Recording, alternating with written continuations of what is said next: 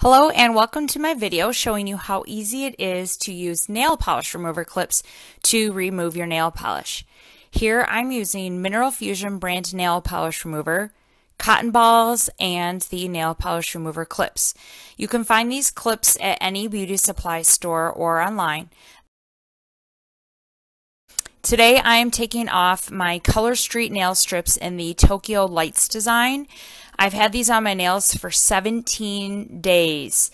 But as you can see, the only real reason I need to remove them is due to growth. They have held up awesome and I have not babied my nails at all. So let's go ahead and get started. If you have large cotton balls, you're going to want to tear them in half. Um, if they're too big, they won't fit well into the clips and you'll just be wasting nail polish remover to fill up the cotton ball. Another option that you could use are the round cotton pads that you use for makeup. Those would work fine too. So you just soak each cotton ball or the or the cotton round pad uh, with a little bit of nail polish remover, lay it on your finger, and then clip on the nail polish remover clip, and that's it.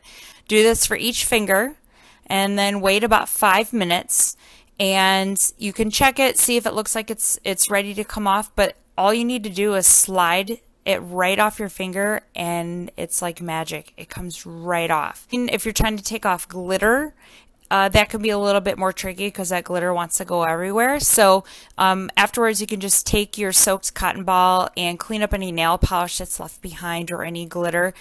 Then wash your hands and you are done. So once again, I got these nail polish remover clips on Amazon. You can find them anywhere, but they are so nice to have when you want to take off your nail polish and it makes it so much easier. If you don't have Mineral Fusion nail polish remover, that's okay. Any nail polish remover will work with these nail polish remover clips.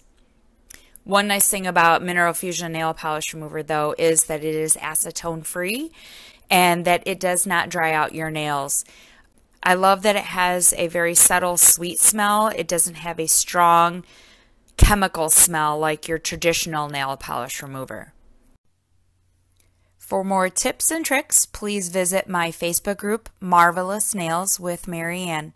Thank you so much for watching. Be colorful, be brilliant, be Color Street.